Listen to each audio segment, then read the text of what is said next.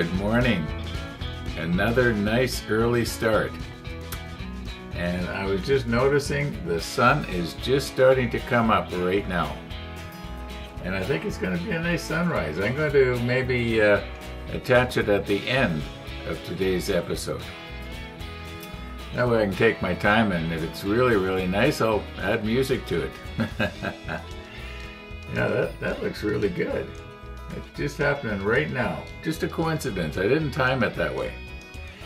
Um, I did come back to the model table last night. I spent quite a bit of time here. And uh, in order to see how we got to this place, let's roll back. Okay, we have finished the crane. Step 7. Except for the painting, of course. Step 8. And when I first glanced at this a few minutes ago, I thought, oh, the whole thing's photo etch, but I'm realizing that this, this here is plastic. Probably uh, high definition plastic, if you want to call it that. But there is a couple of photo etch pieces on the D sheet that we were looking at yesterday, uh, just a coincidence. And uh, or I mean in, in, the last episode. And it's these right here. Um, yeah, this should be fairly easy. They're just straight bends. I don't know if I'm going to be wanting to solder the, the this together or not. I might. We'll see how it, what it looks like after I bend it together. Might be a little stronger if it's soldered. Anyway, these there's there's two sheets like this, by the way, and uh, so we have to make two pieces. This one and this one. Now, I was looking at this earlier, and, and this, this is kind of confusing. I'm going to have to really pay attention here, or hopefully when we get these pieces, the L17s and what have you, um, you know, it'll be pretty obvious where some of this stuff goes when we get this piece assembled. So uh, it looks like we need L20, uh, L23, E23, Okay, so we need the E sheet, the L sheet, um, or maybe I should say sprue, E10. Okay, let's let's get our uh, our L's and our E's. Okay, parts 20 and parts 39 are pretty good size. And uh, the the there's probably subtle differences in them, so I've made up tins to keep them separate. But uh, most of the other pieces, I, I think we'll be able to sort of tell just by looking at them. Okay, 39.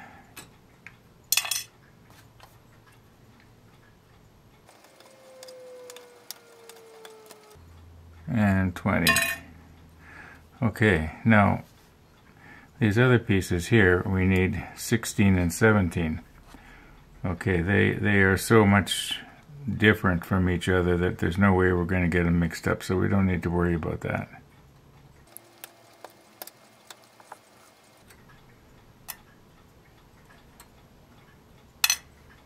Okay, guess it doesn't matter which tin we put it in. Now we need, oh, we need some stuff off the uh, F sprue as well as the E sprue. Oh, we'll get that later. Okay, is there any other L pieces that we need? Yes, we need an L, L8, L26, L9. Um, well, this 8 and 8 and 9 look a lot different. Well, let's get the L21. That's different. We won't get that mixed up. And there it is right there.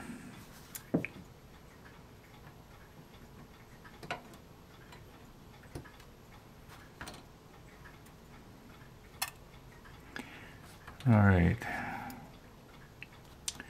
Well, let's uh, just recompose here a little bit. Maybe I should get tins out for... Let's find these, L8 and L9. Where are they? Oh, here they are up here. Oh, you know what? They're just... They're, they're the same thing. They're just mirror image to each other. Um, I better get separate tins just in case. Got lots of tuna fish tins. Now here again, we do not want to be cutting off the positioning pin. So let's go right up close to the sprue. Okay, so that's number 9.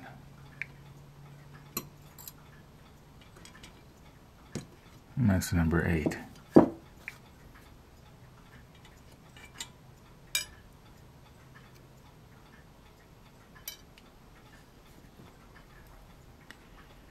Okay, we need L26, which is this one.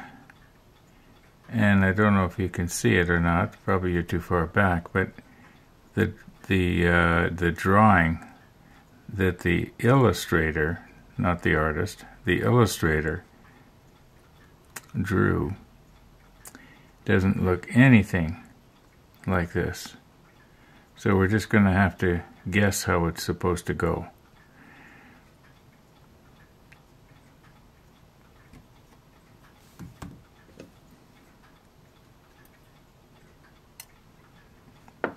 Okay. Anything else on the L sprue?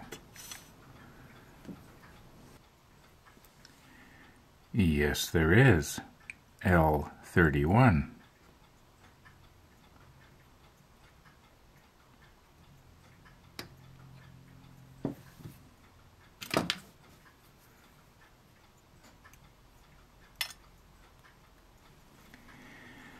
Okay, here we go with the E sprue. And uh, we need E10 and E23, and they're pretty obvious here. There's the 23.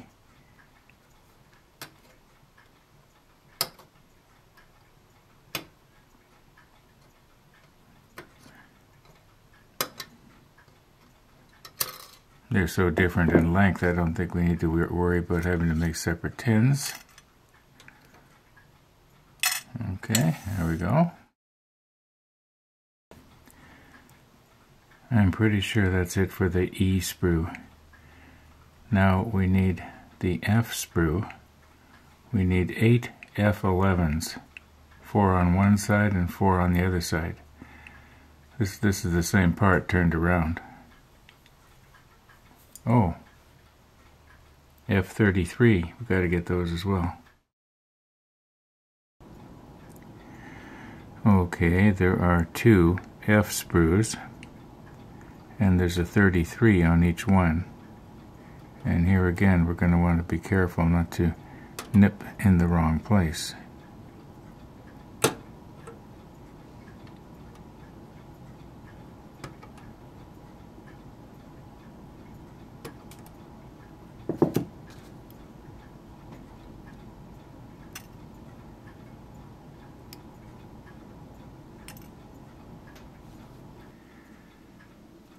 Okay, we need a total of 8 F11s.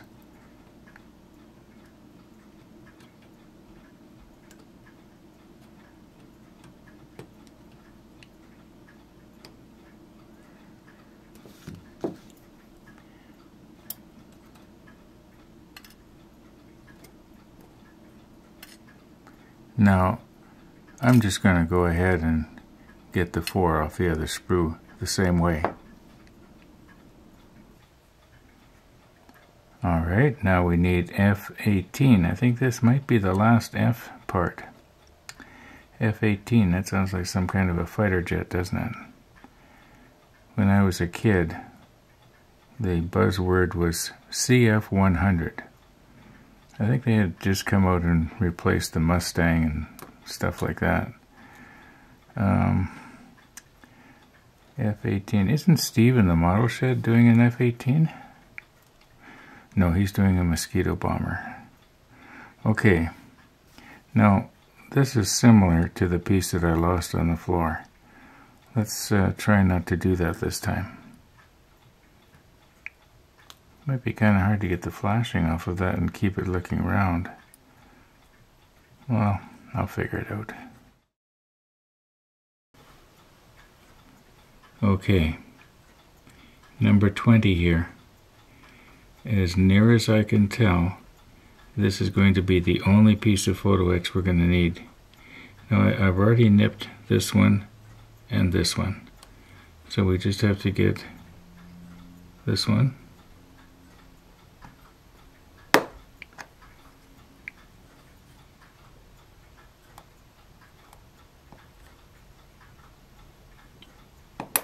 That one.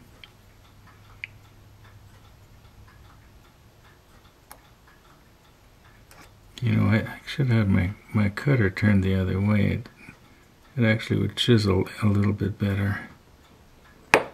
And that one. Now, this, this is the one that I thought we might want to do some soldering on. Now, you can see here, let me just pry it loose.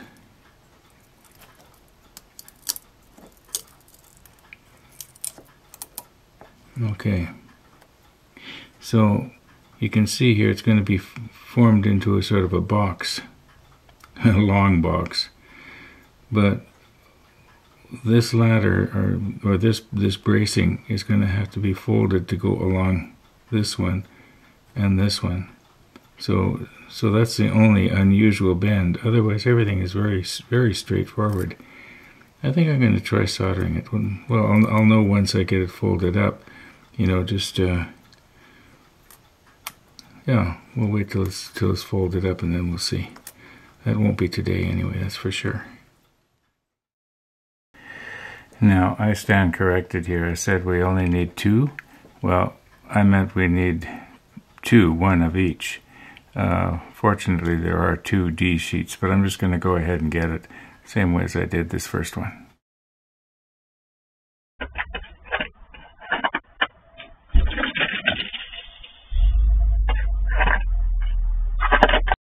a little earlier this afternoon. I thought I'd check and see if I can get into my car a little easier than I could when I tried the other day.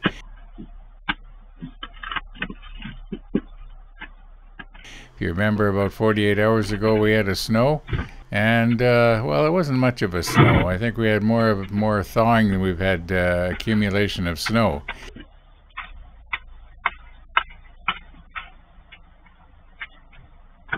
Anyway, Looks like pretty soon I'll be able to get my door open all the way.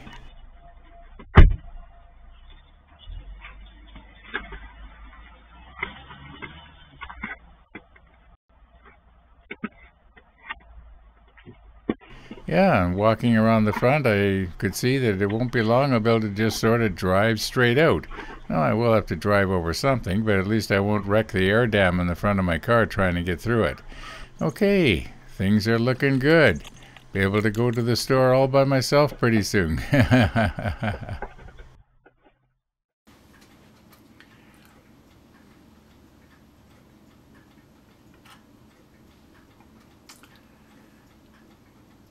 Well, I think what I'm going to do here for the rest of this evening is I'm going to relax and get these little parts cleaned up and uh, yeah, it's relaxing. And I won't press record on the camera unless something really important or really interesting happens.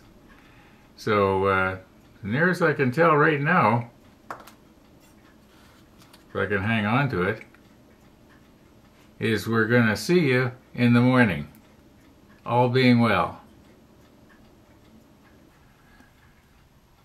Well, it is morning. And we did have ourselves a bit of a nice sunrise this morning. And I'm planning to put it at the end of today's episode, all being well, as long as everything works out and uh, I don't forget. Um, anyway, now on some of these smaller parts, uh, some of the ones that were that are really really delicate, um, I probably could have done a little bit, what you might say, more sanding on the where the sprue connections were and so on. Uh, but I was afraid that I might accidentally break them. Oh, and if you remember this one and and this one here, uh, we had numbered them so we wouldn't get them mixed up. However, now that I know what they are and where they go, um, I, I don't think I'll have a problem because there's basically only one way they can go for them to fit properly onto the other part, uh, which I believe is this thing right here. When it's turned over, we can see that there are uh, little holes on it that, that the uh, pegs have to mount in. Anyway, we'll, we'll come to that probably today, all being well. Also today, I'm going to fold these. In fact, maybe what we'll do is that'll be the first thing we'll do. Let, let's let's fold these pieces of photo etch. And oh, by the way, this whole contraption here, and as near as I can tell, this is all the parts. Uh, I haven't missed anything. Is uh, for the catapult that's going to go on top of one of the turrets, and uh, you have to poke at it, don't you? You have to poke at it. Okay. Uh, yeah, it's going to go on one of the turrets, and the airplane's going to mount on top of that, on top of this. Um, it could well be that a lot of our detail is going to be hidden by the wings of the aircraft and so on, and we're and we're not going to see it anyway. Uh, okay, let's uh, recompose here. We'll uh, get Andy's photo etch bender going, and uh, yeah, we'll uh, bend these into shape and see if we can make them look like something.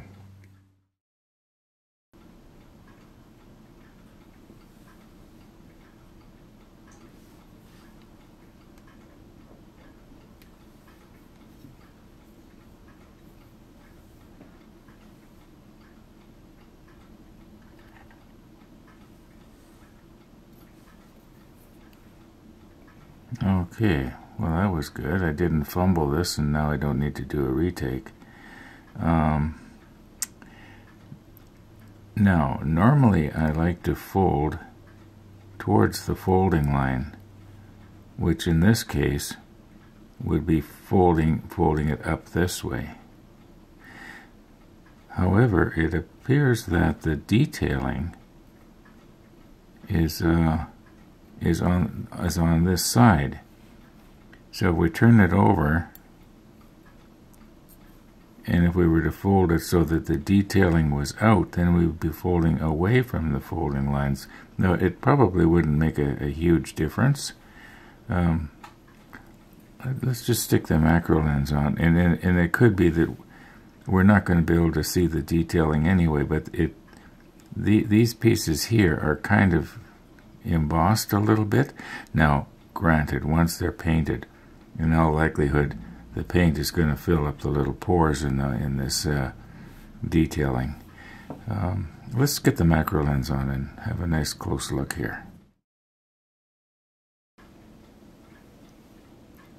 Okay, now you can see this uh, detailing that they've done here, sort of an embossing sort of thing. In other words, right here it's it's it's not embossed, whereas here it is. Um, so in order to have this on the outside where it can be seen, we have to flip this thing over and bend it the other way. Otherwise it's going to be on the inside. Now, once again, it, it's probably not, not a big deal. Okay, it's not a big deal. But uh, let's just uh, see what we can do here. Sorry about my big ugly finger. Now this should be extremely easy to bend, being as that the uh, there's, there's just uh, what two, four, six connection points, and they're very very narrow. So it's not like we have to bend a, a solid a solid piece that has has been uh, that that has been uh, formed with with uh, folding lines. In other words, I'm, putting very, very little, very little pressure on this to, to bend it up. And, uh, and it's, whoops. And it should be bending pretty much where it's supposed to.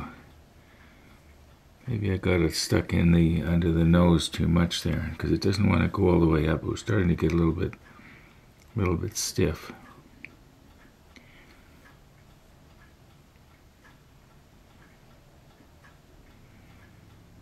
if you if you have it stuck underneath the bend the uh, breaker bar too far, then what happens is that the, the back of the piece that you're bending up comes up against the nose of the breaker bar and uh, and it binds. Yeah, okay, so we got that one.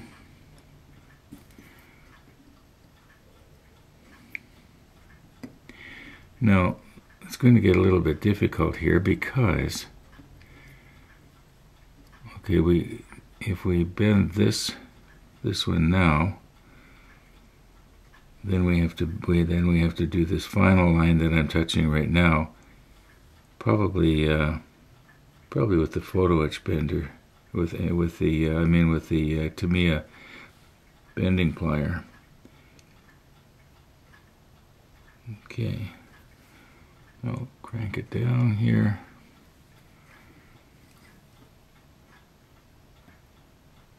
Now we're going to go up. That feels pretty good. It didn't feel that binding, so I had it right this time. Now we got to make the, this final bend right here. And uh, this is where a, a photo etch bender like this is doesn't doesn't work too good because I can't figure out how I could put it in and have the breaker bar right there where I'm touching right now. Uh, you'd have to have a, a, special a special made breaker bar, I guess. But anyway, let's let's get. Uh, you know, I could I, I could use my other tweezers too. They, they, they might work. I think the photo etch. Where, where's the uh, Tamiya bender here? Okay. Um,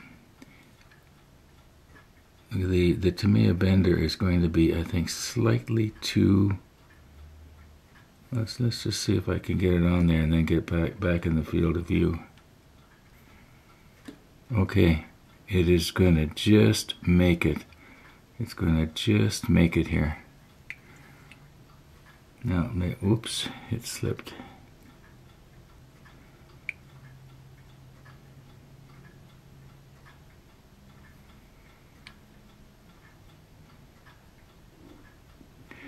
Okay, I, I was noticing, at first I had it like this, but it seems that the uh, that the Tamiya bender widens out as it goes up, and I I'm going to have to. Uh, oh, I'm sorry. I I realize I'm uh, getting it out of your field of view here, and I'm talking, and you don't know what I'm talking about.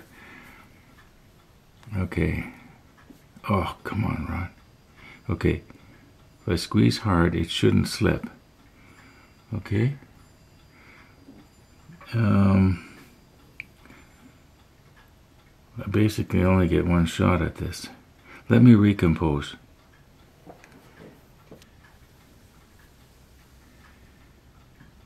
Okay, once again, I only get one shot at this. So I'm just going to turn this around so that you can see what's going on here. And uh,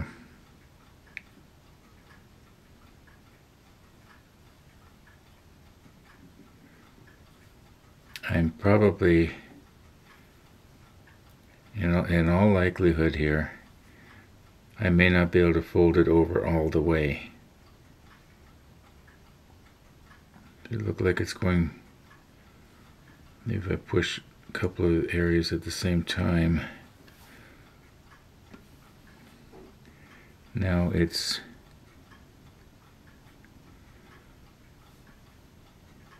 Okay, it's it's kind of together there.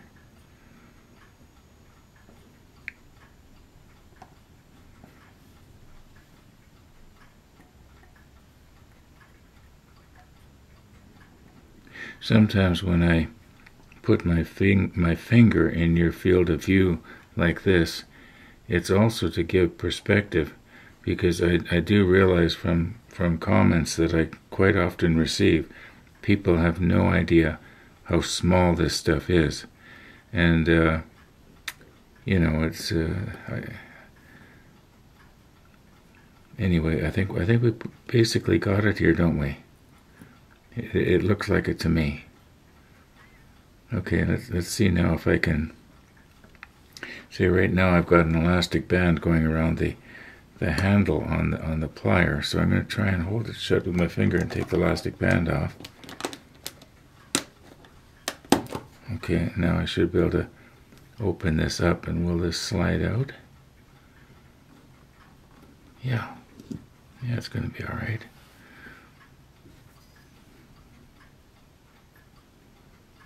Okay, I think we basically got it here. And it's uh, folded in such a way that the uh, detailed is detailing is out. I think that's going to be all right. Now I'm just going to have to tweak this up a little bit. Uh, I'm going to have to put on my magnification hood, which I should actually be wearing right now, but I'm not. And uh, and just bend bend this over so that the edge that has to be soldered, well, it's almost together now, isn't it? No, it's not. Here, here it is right here. Okay, so so this has to be pressed down so that it's yeah, I, I, think I should be able to do that. And then we'll just run a little bit of flux along the edge there and apply some heat. And uh, voila, we're done. It's easy to say, isn't it? Last night at the model table, I had just finished up cleaning off the sprue and what have you off of all these little parts that we've got here now. And uh, I was just sort of staring at the screen, not really looking at anything. And then I noticed that uh, our little friend Missy came out for her nightly tinkle. And uh, I sort of kept an eye on her a little bit, and I was wondering, is she going to go into the rabbit pellets? Uh, now, the reason I've got rabbit pellets out instead of uh, uh, carrots is because we ran out of carrots. And um, actually, today is grocery day. Uh, yeah, I'm going to be contending with that. But, you know, I've got good news and bad news. Well, it's grocery day. That's the good news. The bad news is I forgot to order carrots again. So our little rabbit friends, they're going to have to be eating the pellets. Um, now, uh, I noticed that the uh, rabbits do not seem to be liking the pellets as much as the carrots. Well, they, they, they've been spoiled, I guess. Um, and the uh, pellets, they're, they're a lot like dog food. So, uh, yeah, Missy's going to be sticking her nose in them, I guess. I don't know what we can do about that. And uh, also, another little creature seems to be liking them. anyway, that's sort of the update for the rabbits. Uh, there does not seem to be as many this spring, uh, if you could call this spring. It sure doesn't look like it lately, but uh, yeah, it's spring right now here in Winnipeg. I think all of a sudden we're going to get a warm spell and all this snow is going to go. Anyway, let's uh, mosey on here and uh, get back to the model table.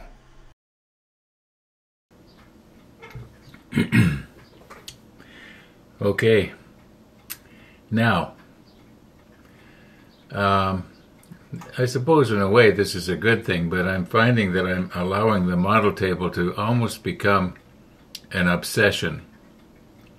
And I'm, it, it, it occupies almost most of my waking time. Uh, and I guess that's sort of a good thing. It, it, it could be that I am preoccupied with something that I shouldn't be doing. Anyway, uh, like eating. okay, that's another story, isn't it? Anyway, I'm going to wrap it up here this morning. Like I know it's only 10:30, but I, I will come at this later this afternoon, and uh, I do plan on trying to solder our little part here. At least that's the plan. But as I mentioned earlier, today is grocery day. Uh, you know, and uh, there are other things that I that I want to do that I should be doing, um, and uh, there's things that I should be doing that I'm not going to do.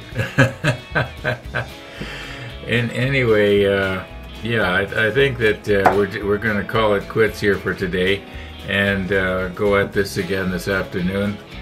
I oh, and I want to do the sunrise. I've got about an hour of it that I'm going to condense down into about a minute, so it'll be a time lapse.